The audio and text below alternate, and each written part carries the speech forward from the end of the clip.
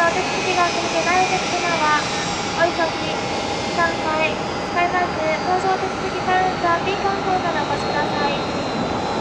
なお、すべてのお手続きがお済みのお客様は、保安検査場の通行の後、搭乗口5番、5番搭乗口へとお進みください。今日の早朝より、